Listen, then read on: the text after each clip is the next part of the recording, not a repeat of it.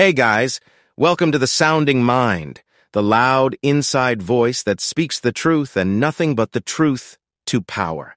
This is the channel that focuses on exposing the hypocrisy of the left agenda. Oh, with everything going on in the world right now, and after Alexandria Ocasio-Cortez told us last week that the Hunter Biden laptop story or the corruption of the Biden crime family is only half a fake news story with everything going on, that shouldn't really be the focus.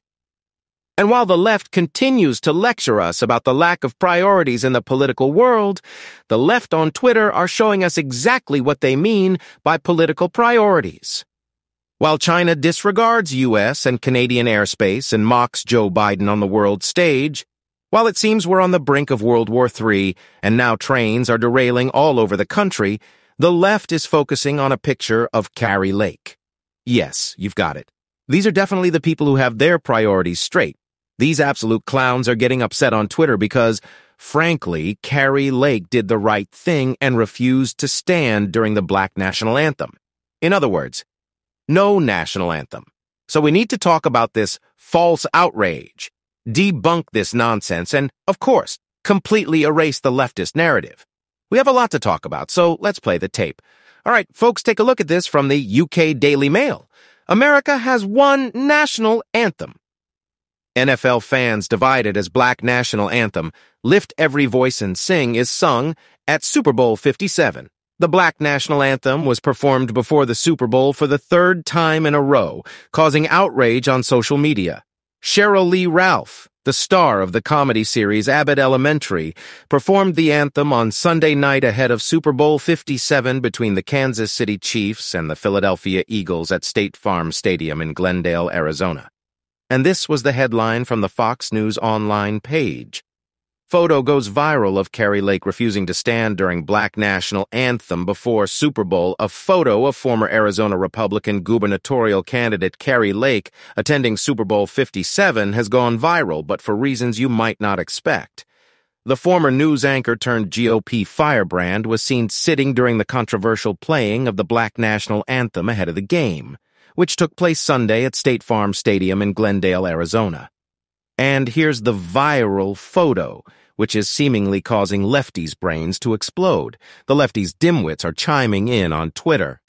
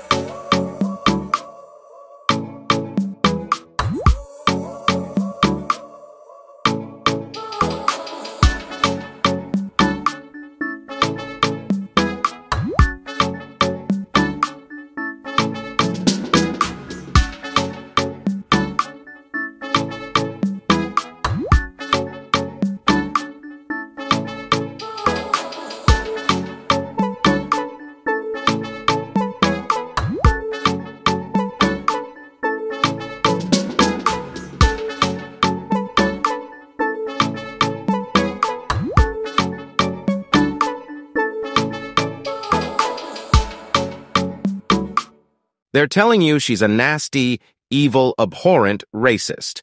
The main contention I'm seeing on Twitter is that Kari Lake chose to leave the stage while the Black National Anthem, which is really a song, was playing. Actually, it isn't a national anthem. She clearly dislikes black people if she is seated.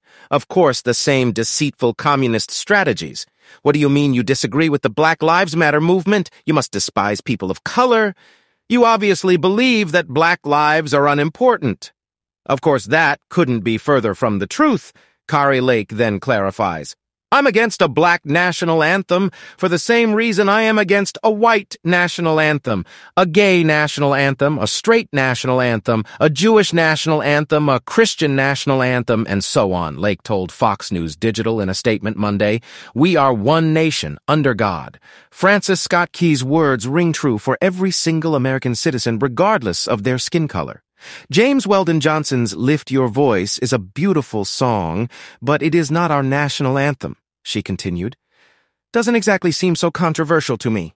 She also retweeted a statement from Royce White, which writes, Y'all got white transgender lesbians teaching black history and excluding Malcolm X.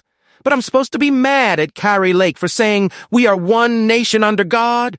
One anthem for everybody? Isn't that a good thing? What kind of backwards race baiting is that? Beautifully put, and I believe Kari Lake was very correct in not standing. All Americans sing the same national anthem, which is the only national anthem. It is by nature inclusive.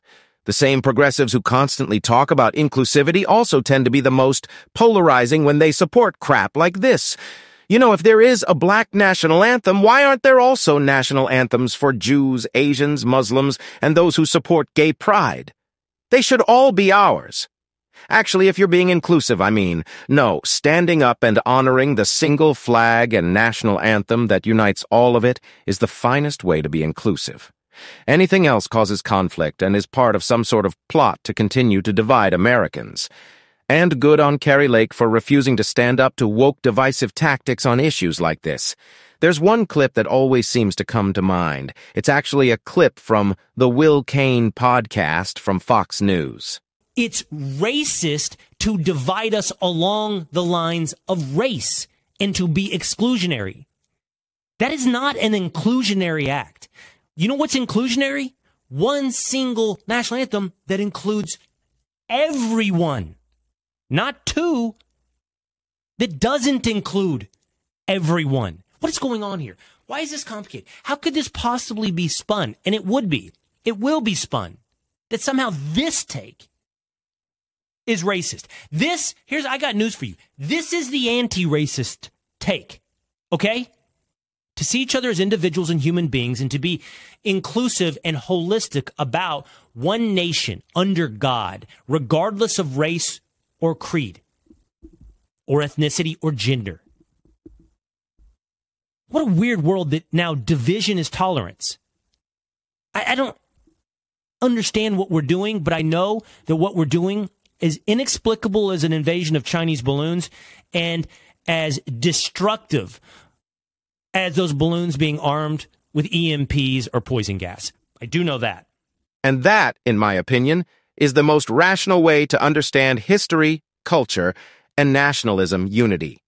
Undoubtedly, different cultures and music representing those cultures exist. But at the end of the day, a thriving country and, of course, a thriving melting pot must come together under a single set of fundamental cultural and societal principles. Not to mention, Kari is free to act whichever she pleases if Colin Kaepernick is allowed to kneel during the real national anthem. The Star Spangled Banner is the anthem for all of us. Countless people have lost their life protecting and defending what that flag represents.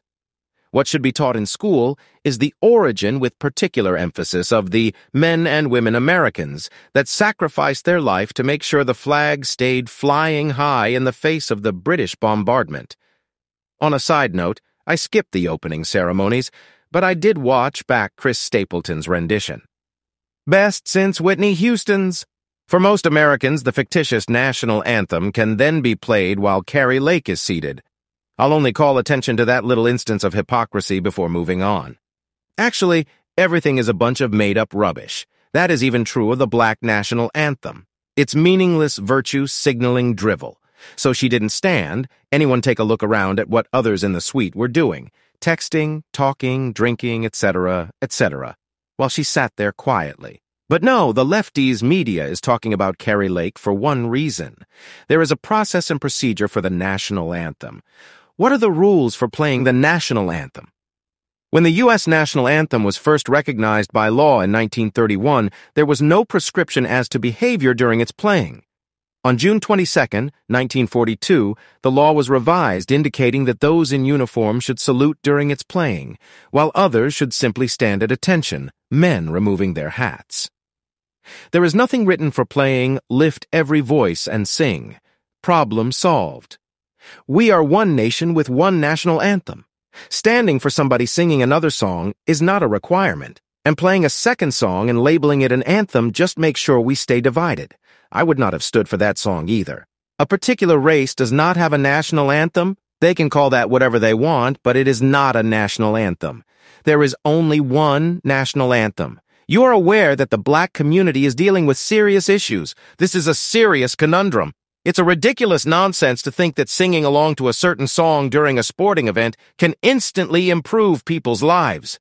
It's worthless corporate public relations drivel about white guilt and salvation that serves no one at all.